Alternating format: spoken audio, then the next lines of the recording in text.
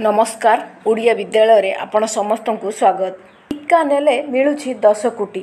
ସାରା ଦୁନିଆରେ ଏବେ କରୋନା ଟିକାକରଣ ଅଭିଯାନ ଜୋରସୋରରେ ଚାଲିଛି। ସରକାର ଏହାକୁ ସଫଳ କରିବା ପାଇଁ ଲାଗି ପଡ଼ିଛନ୍ତି।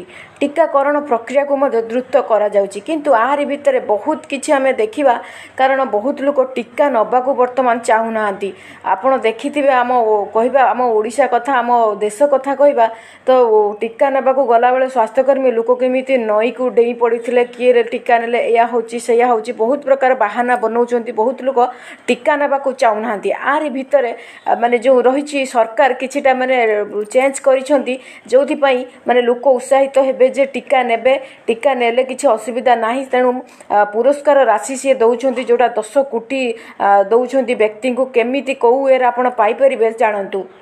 ଇଣ୍ଡିଆ ଟାଇମ୍ସ ମୁତାବକ ହଂକଂର ଏକ ଡେଭଲପର ଟିକାକରଣ କରାଉଥିବା ବ୍ୟକ୍ତିକୁ ଏକ ଅନନ୍ୟ ଅଫର ଦେଇଛନ୍ତି। ଏହି ଆଧାରରେ ଯେଉଁ ବ୍ୟକ୍ତି ଟିକା ନେବ ତାଙ୍କୁ ଏକ ଦଶମିକ ଚାରି ମିଲିୟନ ଡଲାର ଅର୍ଥାତ୍ ପାଖାପାଖି ଦଶ କୋଟି ଟଙ୍କାର ପୁରସ୍କାର ମିଳିପାରିବ।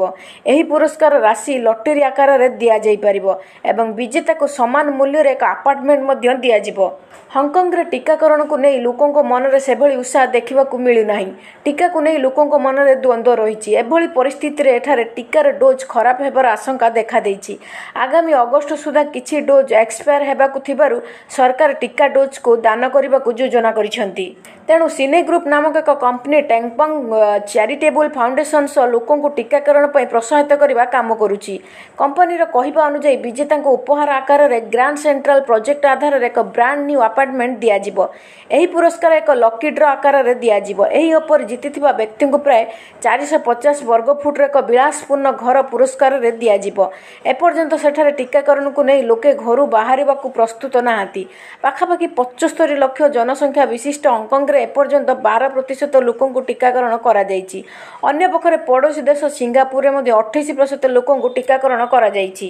ନିଶ୍ଚିତ ଭାବରେ ବହୁତ ଲୋକ ଟିକା ନେବାକୁ ରାଜି ହେଉନାହାନ୍ତି। ଆମ ଦେଶ ଭାରତ କଥା ମଧ୍ୟ କହିବା।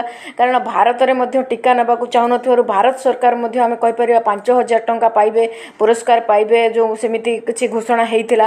ନିଶ୍ଚିତ ଭାବରେ ତେଣୁ ଯେଉଁ ଟିକାକରଣ ପାଇଁ ଆପଣ ଟୋଟାଲି ଗୋଟେ କଥା କହିବି ଡରନ୍ତୁ ନାହିଁ। ସେମିତି କିଛି ଡରିବା ନୁହଁ କି ଦ୍ୱନ୍ଦ୍ୱରେ ରହିବା ଠିକ୍ ନୁହଁ। ଆପଣ ଟିକା ନିଅନ୍ତୁ ଆଉ ସୁରକ୍ଷିତ ରୁହନ୍ତୁ। ନିଶ୍ଚିତ ଭାବରେ ଆମେ କହିପାରିବା ଆପଣଙ୍କ ମତରେ କ'ଣ ରହିଛି। ନିଶ୍ଚିତ ଭାବରେ ଆପଣମାନେ କମେଣ୍ଟ ବକ୍ସରେ କମେଣ୍ଟ କରନ୍ତୁ। ତା ସହିତ ଏମିତି ଡେଲି ଡେଲି ନୂଆ ନୂଆ ଅପଡେଟ୍ ପାଇବା ପାଇଁ ଓଡ଼ିଆ ବିଦ୍ୟାଳୟ ଚ୍ୟାନେଲକୁ ସବସ୍କ୍ରାଇବ୍ କରିବାକୁ ଜମା ବି ଭୁଲନ୍ତୁ ନାହିଁ। ରହୁଛି ନମସ୍କାର।